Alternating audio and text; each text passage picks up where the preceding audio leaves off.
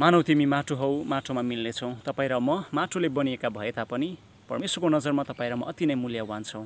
कारण परमेश्वरले तपाईँ र मलाई उहाँकै प्रतिरूपमा बनाउनु भएको छ। जब परमेश्वरले आदमलाई सृजना गर्नुहुन्छ नि परमेश्वरले आदमलाई स्वतन्त्र व्यक्ति अनि एक सिद्ध व्यक्ति बनाउनुहुन्छ। तर जब आदमले पाप गर्दछ त्यो स्वतन्त्रपना अनि त्यो सिद्धपना आदमले गुमाइ पठाउँदछ। त्यस्तै हाम्रो जीवनमा पनि त्यस्तै हुँदछ।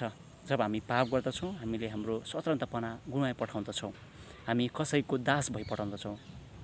कारण प्रभुका वचनले है त्यसरी नै भन्दछ। सन्त जोहनको आठको चौतिसमा हामी यसरी लेखिएको पाउँदछौँ है पाप गर्ने सबैजना पापकै कमारो बन्दछन्।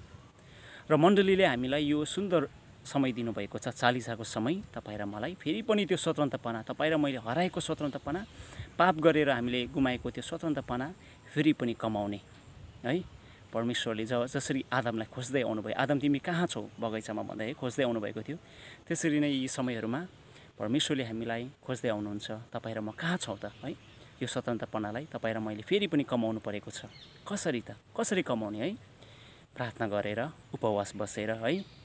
र यो चालिसाको समय तपाईँ र मेरो निम्ति अति नै फलदायक बनोस्। र म यही प्रार्थना गर्दछु।